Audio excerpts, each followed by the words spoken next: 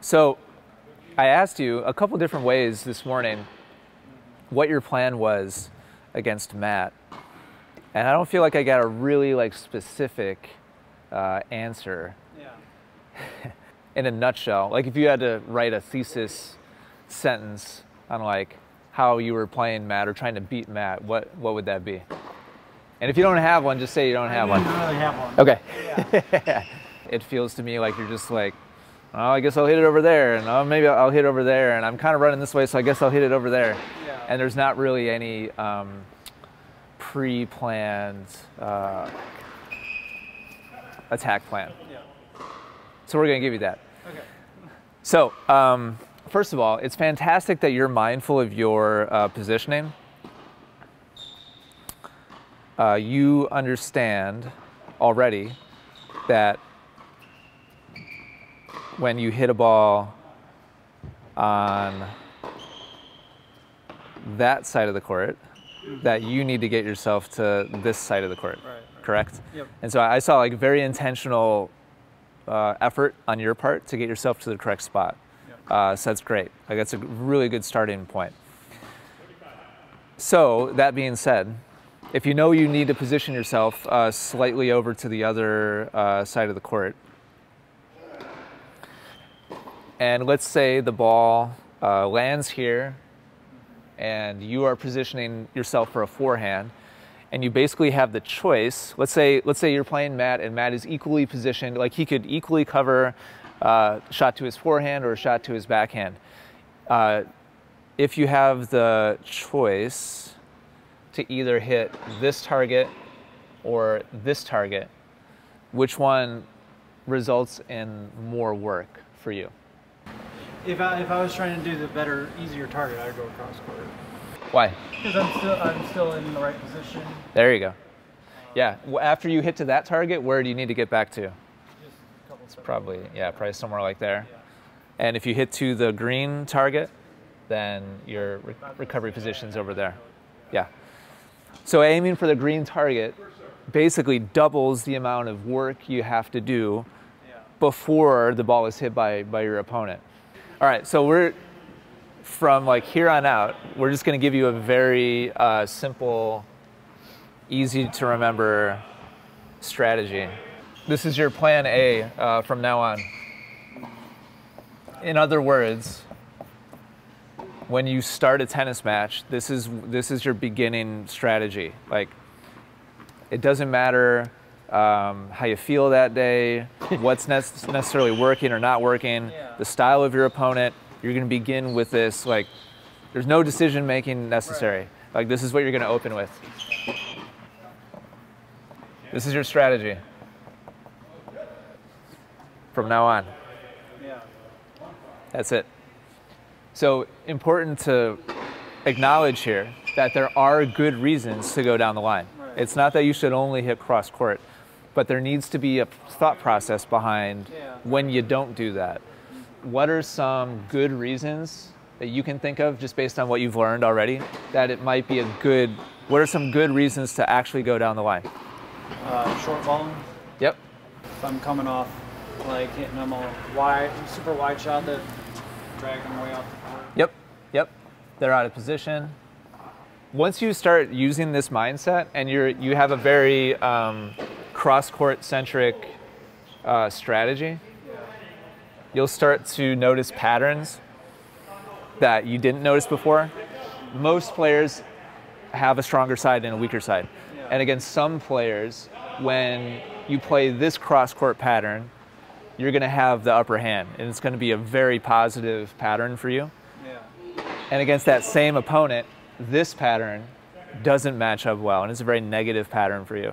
So if your opponent also realizes that and they're trying to exploit this pattern, and you don't like it, then it might be uh, worth the risk to go down the line to get into this pattern. Right. Does that make sense? Yeah. Yeah. Yeah. And we, when you watch tennis on TV, you see you see tons of this. Well, they'll hit two or three shots this way, and then somebody will change directions, and then they'll hit two or two or three shots this way, and then this player will be like, ah, I don't really like this, and then they'll change and, and go in this direction. So uh, to change the pattern is a, another good reason. It doesn't mean you smash it 100 miles an hour down the line, It just means you target the other side, give yourself some time to make that extra movement so that you can go to the other, uh, the other pattern. Another one is opponent weakness. In other words, uh, Right, they gotta, if Matt's forehand over here is incredible and his backhand over here is terrible, and he's hitting you lots of forehands because he would like this is kind of this other side of the same coin. If he's targeting your forehand over and over because he wants to hit forehands, changing direction to force him to hit a backhand might be the right the right play. yeah. Uh, and then the last main one is um, if you just have a personal strength, like Djokovic is known for his backhand down the line. So if you're like wicked good at a particular shot down the line, it might be. You're not really allowed to use that one. No. that leaves us with four four other reasons. If none of these four things are present, what do we do? Play name. Cross, hit, hit across court. Any questions? No. All right, let's All right. practice.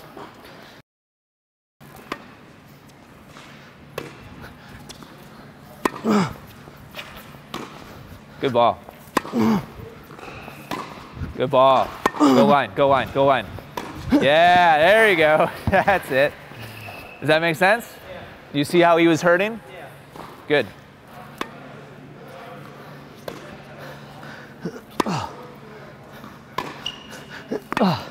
Your choice. Nice, good ball.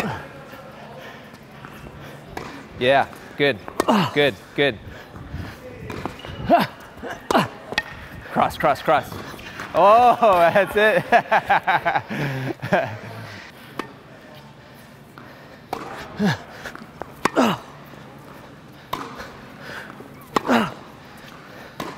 Yeah. Oh! Yeah. All right, let's grab a drink real quick. Good hitting, Gabe. Did that did that bounce in? I, was it in? Did it? Awesome. All right, uh, Gabe. Did you notice the last like two or three minutes Matt started doing something different? All right, we're gonna we're gonna take a look. Okay. Uh, we're gonna scroll through a couple couple examples here. Okay. So we got uh, a bunch of cross court balls. This was probably five or ten minutes ago. Okay. Awesome angle. So right here, do you do you have an advantage in this in this exchange? Yeah. Why? He's all the way over. Yep. He, he has not the goal anytime a tennis ball gets hit is that you get to the center of what's possible next. And Matt mm-hmm. has a sharp angle covered from you. You're about to hit the ball, but Yeah. everything else is is open. So if you wanted to here, you could go down the line. Yep. But it's important to keep in mind Matt's shot also. Yeah, this is probably like a coin flip, I think. Like he didn't hit it short, but it's uh, it's not like on the baseline. Right. So let- let's see what you did. I actually I don't know. Nice. So you took it. Oh, I did. Yep. Nice, nice. Good job. Good. Good read. I, I think that was totally acceptable time to go down the line. Good job. All right, I'm going to move ahead now to where Matt changed. You have any idea yet what uh, Matt did different? I'm to go to just go to one where I'm pretty confident. Pretty sure this is one of them. So I'm going to go one shot at a time, and you tell me if you see something different uh, from Matt. So looks the same so far. Looks the same so far. Still looks the same. What did Matt just do? Um. Hit the ball up high or And this is first down the line shot. Yeah. We went a solid five minutes without Matt hitting down the line one Yeah. one time. Yeah. And then he started hitting down the line like every three or four shots. Okay. Yeah, so yeah, this is the type of thing like there needs to be in the. Uh, this is why we're starting with with this for a year. uh, when somebody breaks that pattern, Yeah. there should be like sirens going off in your head because as soon as he does break it, what is what does that mean? When when he breaks the plan A and he goes down the line, what does it mean for Matt?